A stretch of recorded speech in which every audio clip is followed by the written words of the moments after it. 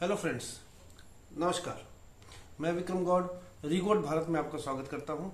आज हम बात करेंगे एक ऐसी लड़ाई की जो भारत के पूर्वी हिस्से में लड़ी गई। वो किसी टेक्स्ट बुक में नहीं है, क्यों नहीं है, इसका कारण टेक्स्ट बुक लिखने वाले, सरकार, हिस्टोरियंस, ये जब बेहतर जाने।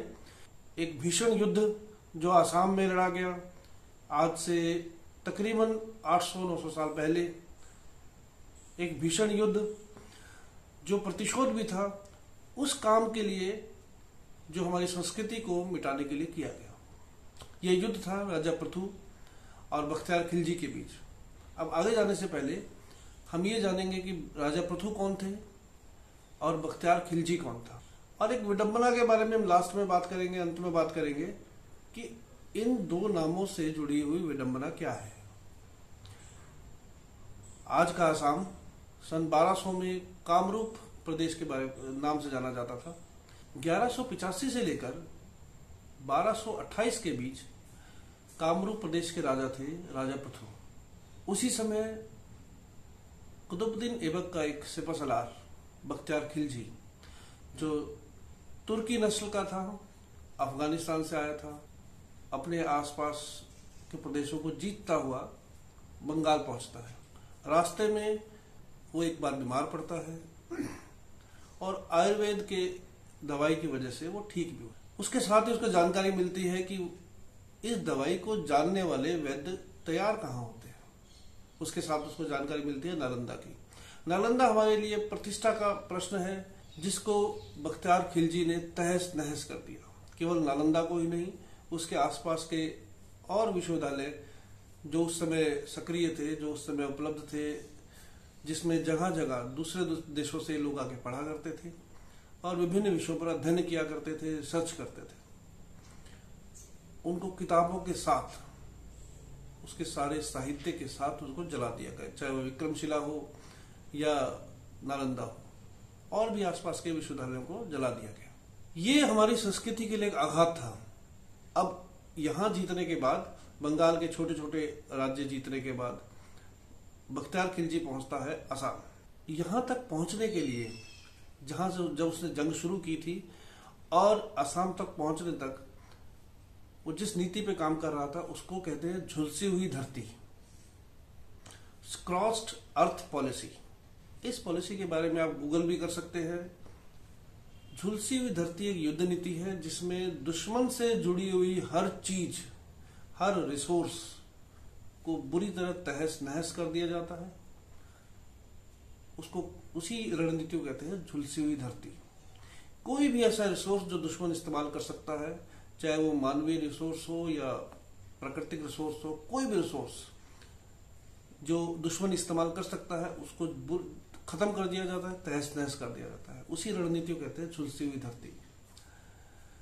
अब इसी रणनीति पर काम करते हुए बख्तियार खिलजी पहुँचता है असम या कामरूप प्रदेश, उस समय के कामरूप प्रदेश।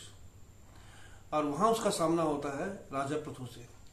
राजा पृथु के अंदर इस बात का प्रतिशोध लेने की इच्छा थी। इस बात से वो गुस्सा थे कि उसने हमारी संस्कृति से जुड़ी हुई तमाम चीज़ों को, रास्ते में आने वाली तमाम चीज़ों को तहस नहस कर दिया। इसको बदला लेने के लिए उन्होंने एक शपथ ली कि अगर बख्तियार खिलजी ब्रह्मपुत्र पार कर गया तो मैं अग्नि समाधि ले लूँगा। बख्तियार खिलजी के लिए उसको जीतना ज़रूरी था क्योंकि वो तिब्बत जाना चाहता था ताकि सिल्क रूट पर नियंत्रण प्राप्त कर सके। सिल्क रूट की क्या महत्व है, आप ये गूगल करके देख सकते हैं। ये एक बिज़नेस रूट था, बहुत महत्वपूर्ण रूट था। अब, जब बख्तियार खिलजी असम पहुँचता है या कामरूप प्रदेश में पहुँचता है तो राजा पृथु से उसका भीषण युद्ध होता है, मार्च 1206 मार्च 1206 में भीषण युद्ध होता है। आप उस युद्ध की कल्पना कीजिए जिसमें बारह हज़ार अफगानी सैनिक, बख्तियार खिलजी के झंडे तले बारह हज़ार अफगानी सैनिक असम के योद्धाओं से भिड़ते हैं। और वो योद्धा जो जंगल में विकट परिस्थितियों में लड़ने के लिए आज भी प्रसिद्ध है, आज भी उनका कोई सानी नहीं है, वो योद्धा एक प्रतिशोध लेने की भावना से बख्तार खिलजी से भिड़ते हैं। और बारह हज़ार सैनिकों में से ग्यारह हज़ार नौ सौ सैनिक को मौत के घाट उतार दिया जाता है। कितना भीषण युद्ध रहा होगा वो? क्या क्षण रहा होगा? उस प्रतिशोध को लेने की कितनी प्रबल भावना होगी? और इस भावना के तले लड़े उन योद्धाओं को हमारे इतिहास में हम नहीं पाते हैं। तो ये एक चर्चा का विषय है, क्यों? ऐसा क्यों? बख्तियार खिलजी की वहाँ हार हुई। उसने, वही पुराना तरीका? उसने अपना माफ़ी मांगी। राजा पृथु से, राजा पृथु ने उसको माफ़ भी कर दिया, सौ सैनिकों को गिरफ़्तार किया और उसको उसको घोड़े पर बैठाकर अफगान के लिए रवाना कर दिया और कहा कि रास्ते में जो भी मिले, उसको कहना कि मैं कामरूप प्रदेश तक पहुँच गया था, वहाँ पर राजा पृथु मिल गए और उन्होंने मेरा ये हाल कर दिया। इस जिल्लत को सहन करता हुआ, इस बेजती को सहन करता हुआ वो अफ़गानिस्तान पहुँचा, जहाँ पर उसके भतीजे ने ये सारी कहानी सुनने के बाद अली मरता उसका भतीजे ने उसका सर कलम कर दिया। अब इससे जुड़ी हुई विडंबना क्या है? ये था एक क्षण जो हमारे योद्धा ने जिया, एक प्रतिशोध लेने की भावना और एक अक्रांता को रोकना। उस क्षण को हमारे इतिहास में नहीं है, वो एक अलग विषय है, मगर इससे जुड़ी विडंबना क्या है? राजा पृथु, जिन्होंने इतना वीरोचित काम किया, इतनी वीरता दिखाई मगर उनका ज़िक्र इतिहास में कहीं नहीं है। गुवाहाटी के पास लगे हुए शिला लेख को अगर छोड़ दिया जाए तो हमें उसके बारे में कोई जानकारी नहीं है। आप अपने आसपास देख सकते हैं। कोई सड़क, कोई इमारत, कोई भी स्मारक राजा पृथु के नाम से नहीं है। इसके विपरीत, बख्तियार खिलजी के नाम से एक छोटा सा शहर है, बख्तियारपुर। हमें जंक्शन भी मिल जाता है, बख्तियार जंक्शन। बख्तियारपुर बिहार के वर्तमान मुख्यमंत्री नीतीश कुमार जी का गृह नगर है। ये एक विडंबना ही है कि हमें इस प्रकार की जानकारी से वंचित रखा जाता है।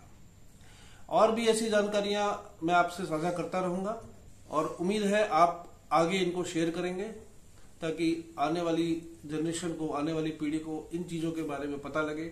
हमारे हीरोज, हमारे विजेताओं के बारे में, हीरोज के बारे में पता लगे। कि कैसे कैसे वीर लोग हमारी इस भारत भूमि में हुए हैं और उन्होंने हमें गौरव प्रदान किया है। धन्यवाद।